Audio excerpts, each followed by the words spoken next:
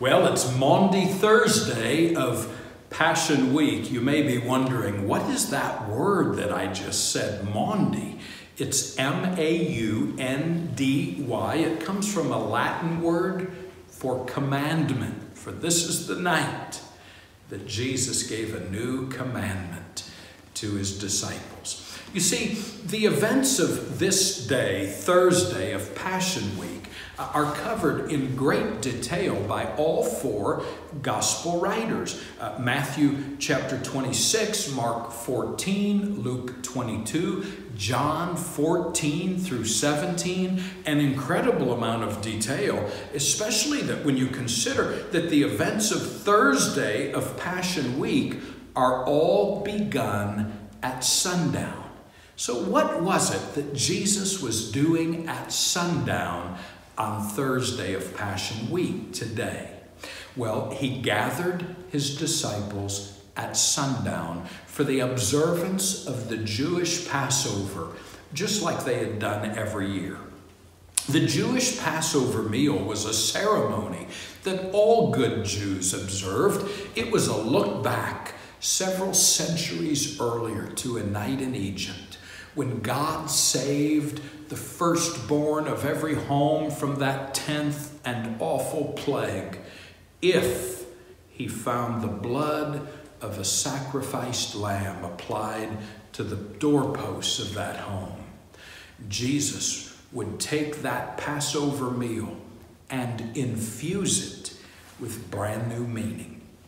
But before he did, you may also recall that this is the occasion, this Passover gathering, where Jesus would wash his disciples' feet. Of course, Peter raised an objection to that. Jesus used that as a wonderful teaching opportunity for his disciples. And then Jesus named his betrayer and said to Judas, What you must do, do quickly.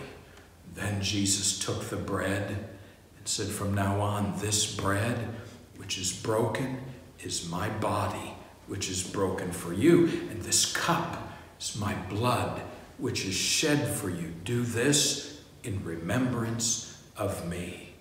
And at the end of the Lord's Supper, Jesus predicted that Peter would deny him three times before that night was over.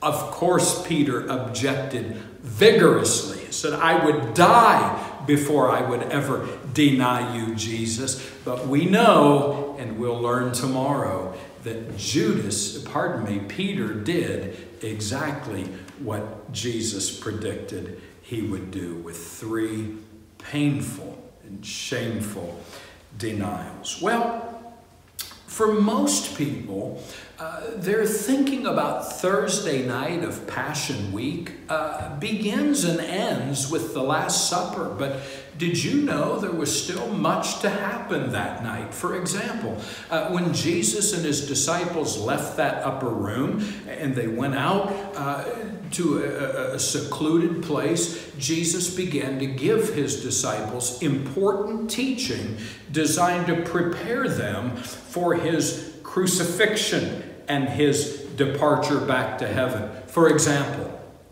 John chapter 14, Jesus taught his disciples that he is the way, the truth, and the life, and that no one comes to the Father but by him.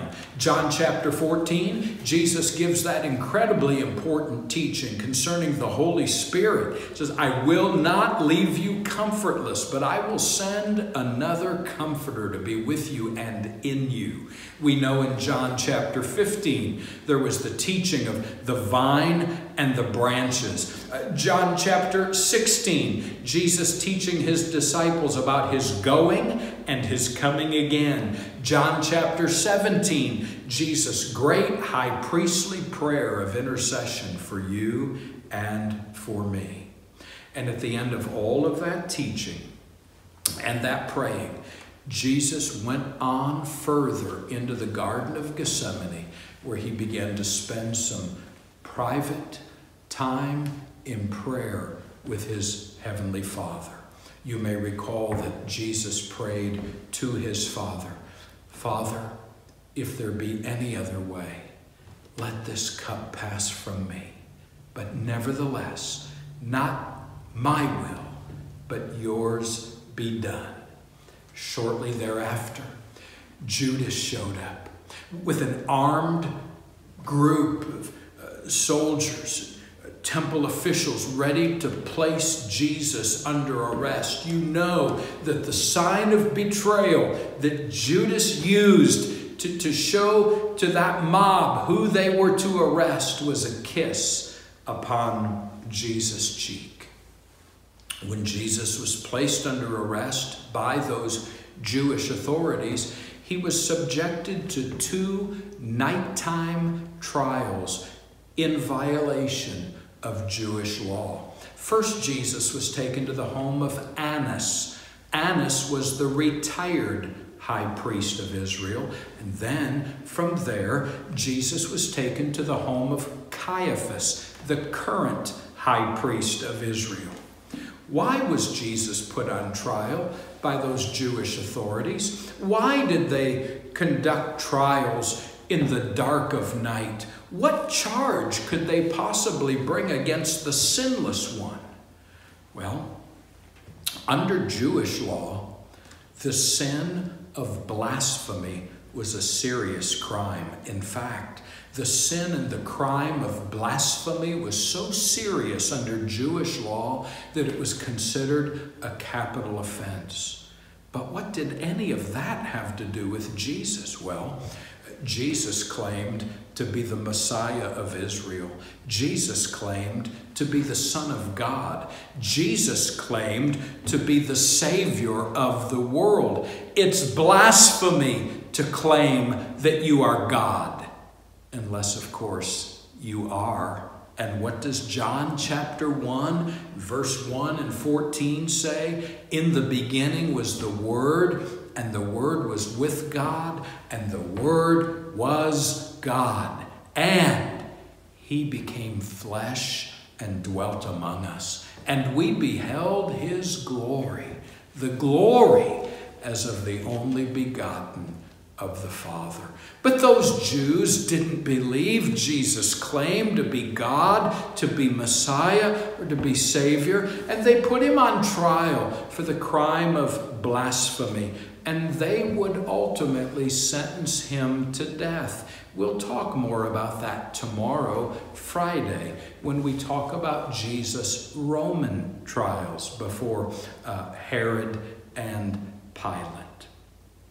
But here's what I want you to think about today Maundy Thursday, the Last Supper, the institution of the Lord's Supper. We gather every Maundy Thursday.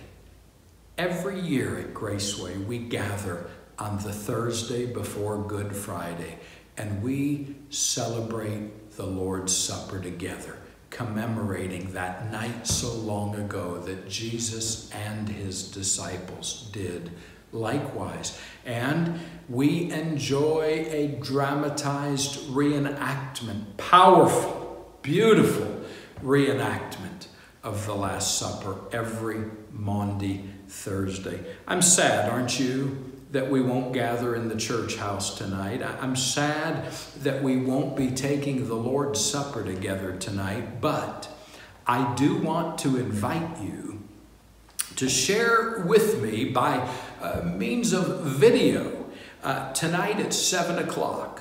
Uh, we're going to replay for you uh, a, a video presentation of a Lord's Supper reenactment brought to us by our, our Graceway Drama Ministry from just a couple of years ago. So maybe have your family gathered uh, and be ready to watch tonight at 7 o'clock. We'll watch the reenactment of the Lord's Supper, just as we do every year. I hope that'll be a blessing to you. And thank you for watching. Thank you for being with me today as we've shared a few thoughts together about the Thursday of Passion Week. God bless you.